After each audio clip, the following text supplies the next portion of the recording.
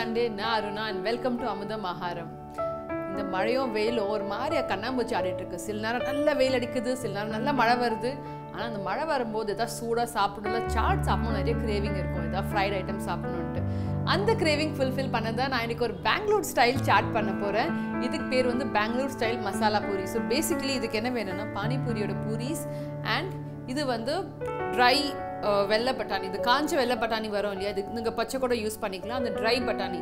Night ஊற வச்சு வேக வச்சு ப்ரெஷர் குக்கரில் இதுதான் யூஸ் பண்ண போகிறோம் ஸோ இது வச்சு தான் ஒரு சாட் பண்ண போகிறோம் ஸோ இது பெங்களூர் அகெயின் ஒரு பாப்புலர் ஸ்ட்ரீட் ஃபுட் பெங்களூரில். ஆனால் மழை வரும்போது இது சூடாக ஒரு பவுல் உட்காந்து இந்த மழையை பார்த்துட்டு நீங்கள் சாப்பிட்டீங்கன்னா அவ்வளோ பிரமாதமாக இருக்கும். ஸோ வாங்க இது எப்படி செய்யலாம்னு பார்க்கலாம்.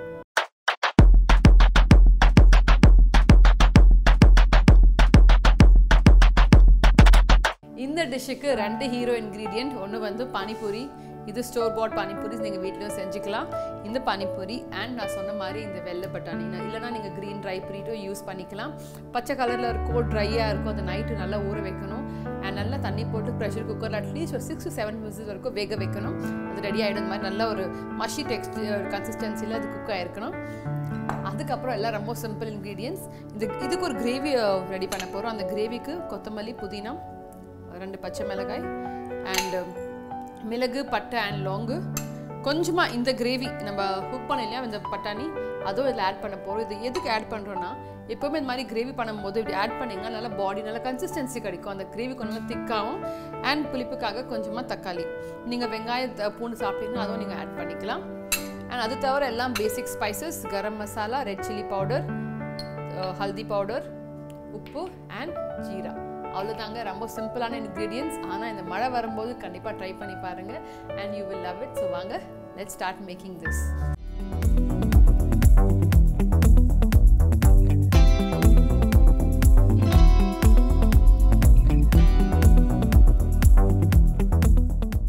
so நான் சொன்ன மாதிரி இதுக்கு ஒரு கிரேவி ரெடி பண்ண போகிறோம் ரொம்ப சிம்பிள் இன்க்ரீடியன்ஸ் அதுக்கு ரெண்டு க்ரீன் சில்லி கொஞ்சமாக கொத்தமல்லி புதினா.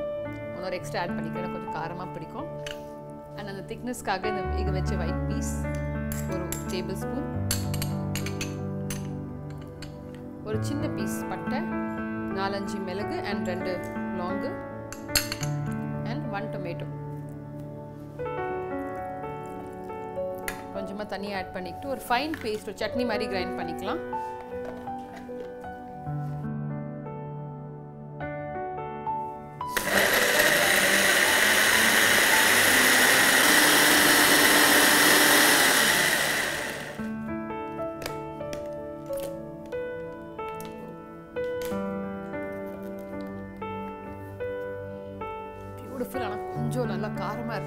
கிரேவி ரெடி ஆயிடுச்சு. வாங்க தாளிக்கலாம். ஸோ மாதிரி பெரிய கடாயில் ஒரு ஒன் டேபிள் ஸ்பூன் ஆயில்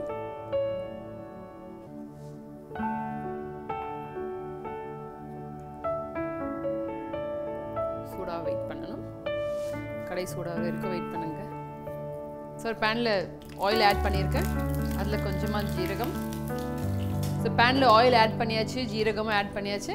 நம்ம கிரைண்ட் பண்ண வச்சு அந்த கிரேவி இதில் கொத்தமல்லி புதினா பச்சை மிளகாய் அந்த பல்ப்பு எல்லாமே கிரைண்ட் பண்ணியிருக்கோம். கேர்ஃபுல்லி இதில் ஆட் பண்ணிக்கோங்க. கொஞ்சமாக தண்ணி ரின்ஸ் பண்ணி எடுத்துக்கலாம்.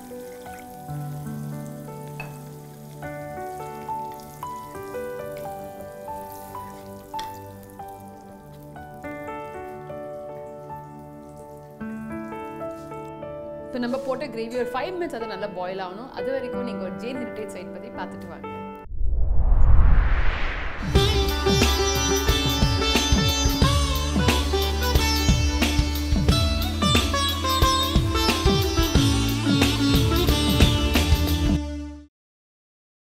அகலூர் ஆதிநாதர் ஜினாலயம். திண்டிவனத்திலிருந்து செஞ்சி செல்லும் நெடுஞ்சாலையில் சுமார் பதினைந்து கிலோமீட்டர் தூரம் பயணித்து நாட்டார்மங்கலம் சந்திப்பில் வலதுபுறம் திரும்பி சுமார் பனிரெண்டு கிலோமீட்டர் பணப்பாக்கம் அவியூர் வழியாக பயணித்தால் அகலூர் கிராமத்தை அடையலாம். பொது ஊழி எட்டாம் நூற்றாண்டிலிருந்து சிறப்புற்று விளங்கிய இத்தலத்தில் முதலாம் தீர்த்தங்கரரான ஆதிநாதருக்கு ஆலயம் கட்டப்பட்டுள்ளது. இங்கே பல்லவ பேரரசர்களது ஆட்சி காலத்தில் சமண ஆலயம் ஒன்று இருந்ததாக இங்குள்ள கல்வெட்டு சாசனத்தின் மூலம் அறிகிறோம். இந்த ஆலயம் காலச் சூழலில் அழிந்ததனால் பொதுவூழி பதினாறாம் நூற்றாண்டில் புதிய ஆலயம் தோற்றுவிக்கப்பட்டு சில மாறுதல்களுடன் இன்று வரை வழிபாட்டில் உள்ளது. அகலூர் வழிகாட்டி பலகை நம்மை வரவேற்கிறது. சாலையை ஒட்டி அமைந்துள்ள ஆலயத்தின் மதில் சுவர் மற்றும் விமானம் நம் கவனத்தை ஈர்த்தது. கிழக்கு மேற்காக அமைந்துள்ள சாலையின் இருமருங்கிலும் சமணர்கள் வசிக்கும் வீடுகள் உள்ளன. ஆலய சாலையின் ஆரம்பத்தில் கிழக்கு நோக்கி அமைந்துள்ளது. சுமார் இருபது அடி உயரமுள்ள நுழைவாயில் கொடக்கரை வரை கருங்கல்லினால் கட்டப்பட்டுள்ளது.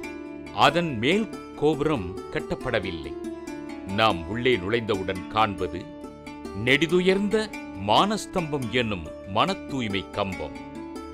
அதன் அடிப்பகுதியில் இருந்து சுமார் ஐந்தடி உயரத்தில் உள்ள சதுர வடிவ பீடத்தில் திசைக்கு ஒன்றாக நான்கு தீர்த்தங்கரர் திருவுருவங்கள் அழகுற வடிக்கப்பட்டுள்ளது. அருகில் சிறிய பலிபீடம் ஒன்றும் உள்ளது. நாம் சுற்றுவலப் பாதையில் இடதுபுறம் திரும்பி மேற்கு நோக்கி செல்கிறோம். தெற்கு மதில் சுவற்றை ஒட்டி பத்மாவதி அம்மன் சிற்றாலயம் கட்டப்பட்டு வழிபாட்டில் உள்ளது.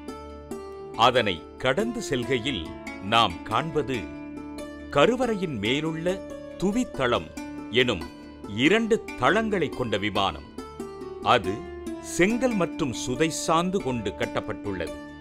ஆலயத்தின் அடித்தளம் உபானம் ஜகதி குமுதம் கண்டரம் பட்டிகைகள் முதலிய உறுப்புகளை கொண்டுள்ளது.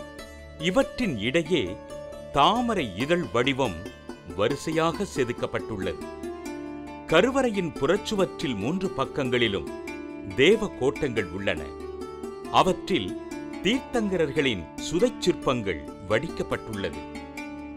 ஆலயத்தின் வடக்கு புற மதில் சுவரை ஒட்டி சேத்திர பாலகர் சன்னதி அமைந்துள்ளது. சுற்றுவலப்பாதையின் முடிவில் மானஸ்தம்பத்தை கடந்து மகா மண்டபத்தின் உள்ளே நுழைகிறோம். மண்டபத்தில் உள்ள தூண்கள் சதுர எண்கோண வடிவ அமைப்புகளுடன் போதிகைகளில் பூ முனைகளை உடையவனாக திகழ்கிறது. அதை கடந்து செல்லும்போது நாம் காண்பது அர்த்த மண்டபம். அதில் தினசரி அபிஷேகம் மற்றும் பூஜை செய்ய வசதியாக பீடத்தின் மேல் சிறிய அளவிலான தீர்த்தங்கரர் படிமங்கள் வைக்கப்பட்டுள்ளது. கருவறை பீடத்தில் முதல் தீர்த்தங்கரரான ஆதிநாதர் தியான கோலத்தில் காட்சி தருகிறார். அவரது தலைக்கு பின்புறம் அரைவட்ட பிரபையும் அதற்கு மேல் முக்குடையும் இருபுறமும் சாமரம் அழகுற வடிக்கப்பட்டுள்ளது. இங்கிருந்த பழைய மூலவர் சிலை சிறிது பின்னமான நிலையில் ஆலயத்தின் வடகிழக்கு மூலையில் உள்ள கலசாபிஷேக மண்டபத்தில் வைக்கப்பட்டுள்ளது. அந்த சிலையின் அருகில் பஞ்ச பரமேஷ்டியர் பிரம்மதேவர் மற்றும் தர்மதேவி சிலைகளும் நிறுவப்பட்டு வழிபாட்டில் உள்ளது.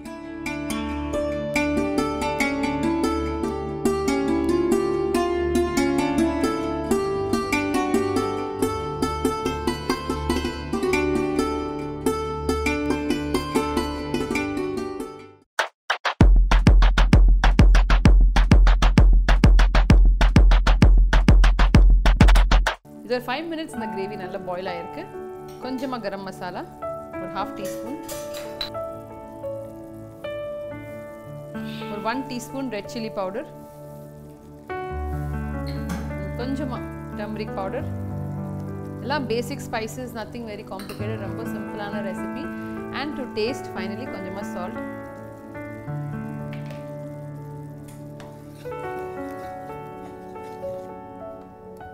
மசாலாஸ் எல்லாம் ஆட் பண்ணதுக்கப்புறம் ஒரு பாயில் வரட்டும். பாயில் வந்ததுக்கப்புறம் இந்த ப்ரெஷர் குக் பண்ண பட்டாணி ஆட் பண்ணிக்கலாம். ஸோ நான் சொன்ன மாதிரி நான் இங்கே ஒயிட் யூஸ் பண்ணியிருக்கேன். நீங்கள் க்ரீன் கூட யூஸ் பண்ணலாம். அண்ட் தென் இந்த குக் பண்ண வச்சு ஒயிட் பீஸ் ஆட் பண்ணலாம் இதில்.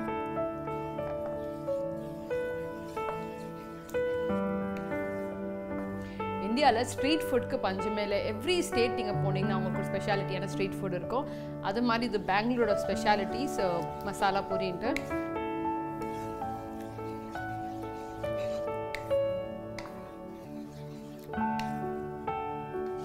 கொஞ்சமாக இதெல்லாம் கிரேவி மாதிரி தின்னாக இருக்கணும். ஸோ இன்னும் கொஞ்சம் வாட்டர் ஆட் பண்ணிவிட்டு ஒரு ten minutes to fifteen minutes இது நல்லா பாயில் ஆகணும். அப்போ தான் அந்த கிரேவியோட ஃப்ளேவர்ஸ் எல்லாம் இதில் அப்சார்ப் ஆகும்.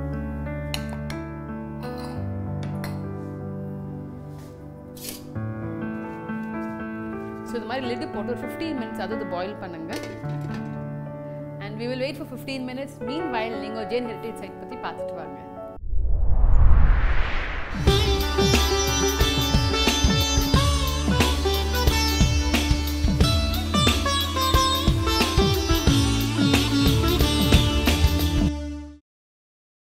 கல்வெட்டுகள். அகலூரில் பல்லவர் காலத்தை சேர்ந்த இரண்டு கல்வெட்டு சாசனங்கள் காணப்படுகின்றன. இவை ஆதிநாதர் ஆலயத்திற்கு எதிரே உள்ள ஜைனர்கள் வசிக்கும் வீதிக்கு வடக்கு புறம் அருகருகே உள்ள இரண்டு பாறைகளில் பொறிக்கப்பட்டுள்ளது. முதலாவது சாசனம் பல்லவ மன்னன் இரண்டாம் நந்திவர்மனது ஐம்பதாவது ஆட்சியாண்டு பொது ஊழி எழுநூற்று எண்பத்து ஒன்றை சார்ந்தது.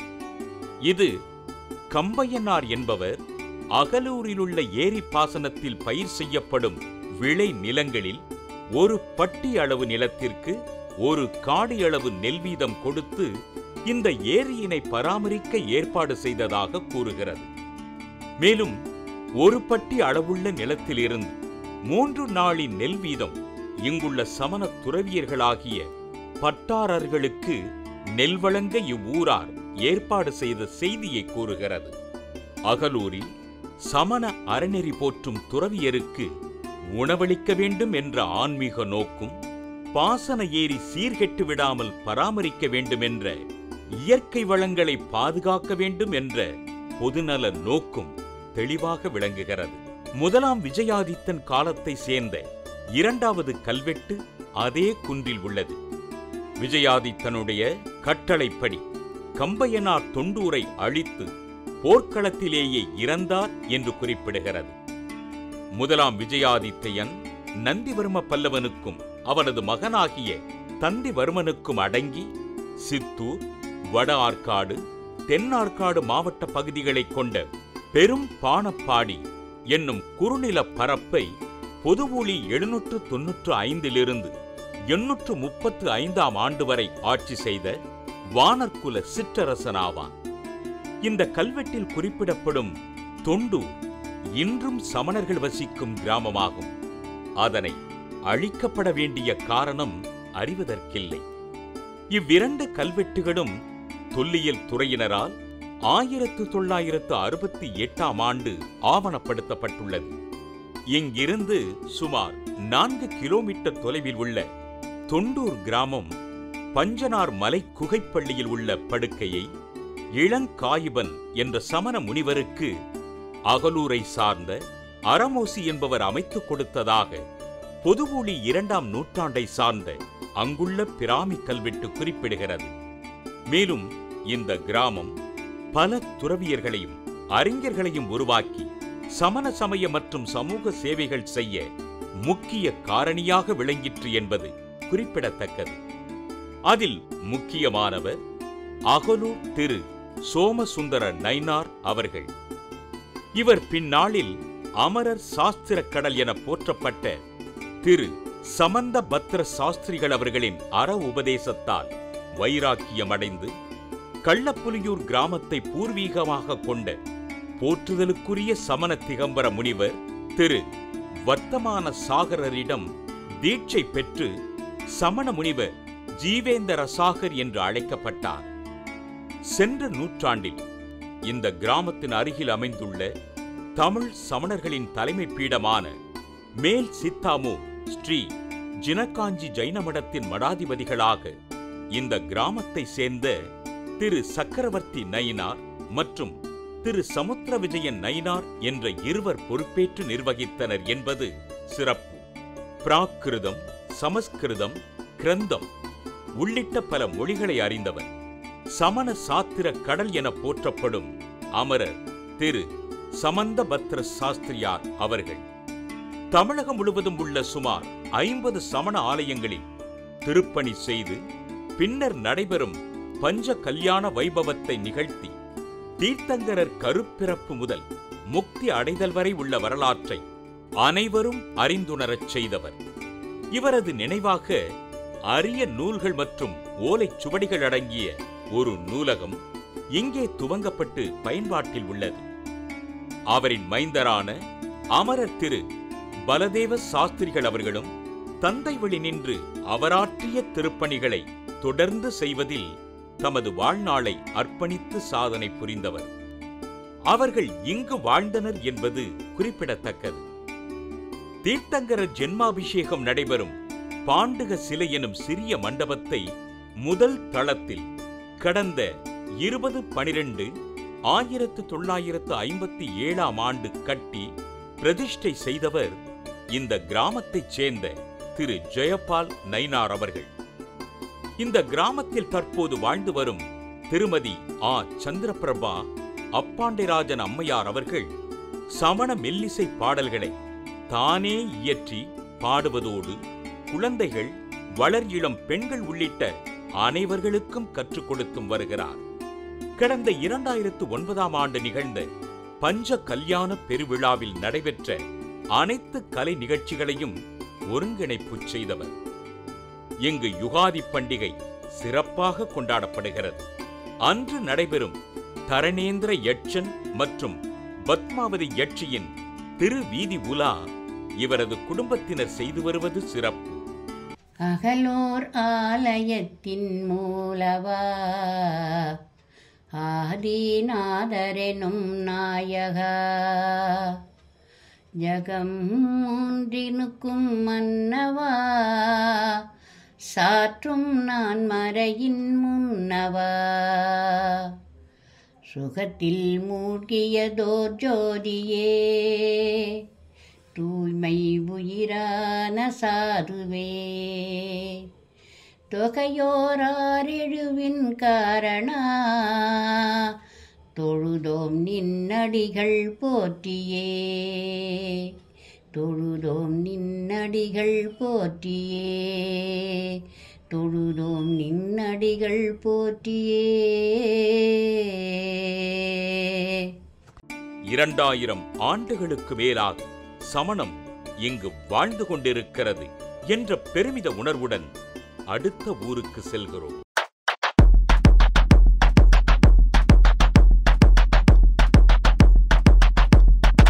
பாயில் ஆயிடுச்சு. பார்க்கலாம். கேன் யூ see இந்த ஆயிலெலாம் ரிலீஸ் ஆயிடுச்சு? ஒரு நல்ல ஒரு திக் கன்சிஸ்டன்சிக்கு வந்திருக்கு.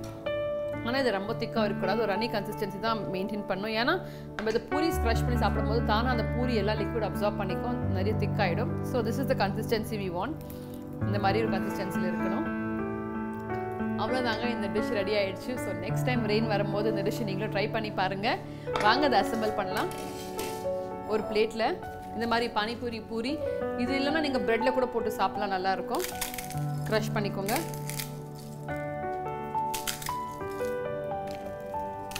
நீங்கள் பாப்படி கூட யூஸ் பண்ணிக்கலாம். நிறைய பானிபூரி பூரி. இந்த மாதிரி க்ரஷ் பண்ணிட்டு. நல்லா சூடாக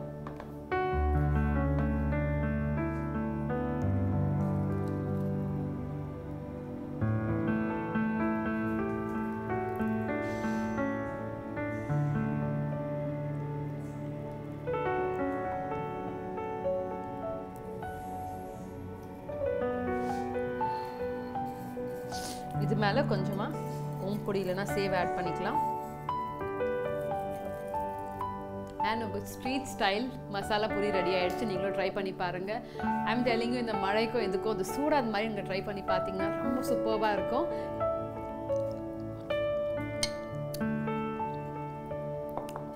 சூப்பர்வாக இருக்குது ஐம் டெல்லிங் நானே என்னை பற்றி ரொம்ப பெருமையாக சொல்லக்கூடாது. But it is come out so well no onion no garlic ஆனால் கூட அவ்வளோ டேஸ்ட்டாக இருக்குது ஸோ நீங்களும் ட்ரை பண்ணி பாருங்கள் வீட்டில் அண்ட் லெட் மீ நோ என்ன ரெசிபிஸ் உங்களுக்கு பார்க்கணுன்ட்டு என்னை எழுதி அனுப்புங்க.